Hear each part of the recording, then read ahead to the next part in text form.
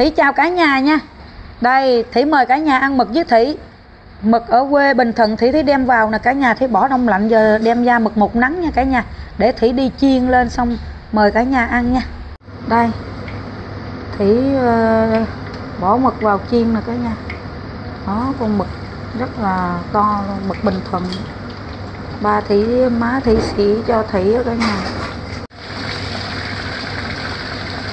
Ngon ghê ha đây nè, cả nhà.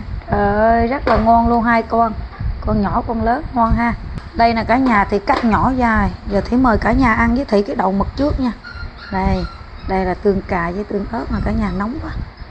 Uhm. Uhm. ngon.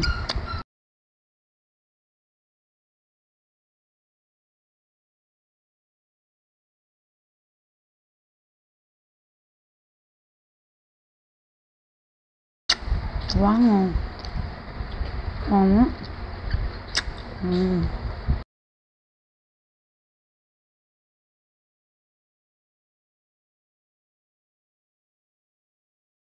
ngon ngon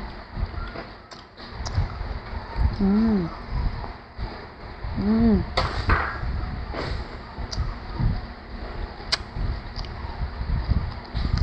Ừ. Vâng.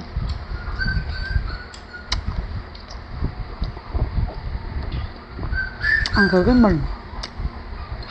Ừ. Ừ. ừ. Ngọt, ngọt quá.